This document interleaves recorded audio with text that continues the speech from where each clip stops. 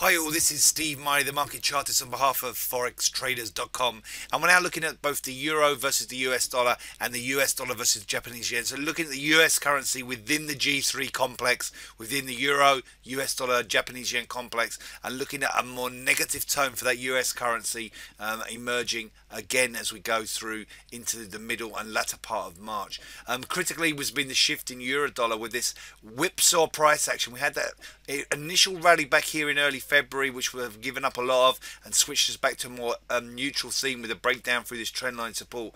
But then the rebound um, going into the ECB meeting and the extremely erratic um, session we had through the ECB on Thursday, which probed down at support but held key supports down here at 107.77, 107.08, and then the solid rebound back up through 111.57, re-energizing a more bullish theme in here. And bigger picture, we're looking for targets up here at 113.76, 113.95, 114.95 through mid-March into the second half of the month. If we take a look at dollar yen, more of a sideways consolidation theme really, but repeated rebound efforts have failed ahead of this key 114.88 level. And whilst below there, the market's rejecting, avoiding a more neutral tone in here. That's a potential double bottom rejecting that double bottom, leaving bearish pressures from the whole sell-off here from late December through January, and more importantly, this accelerated sell-off through February and the downturn we, we saw again in late February.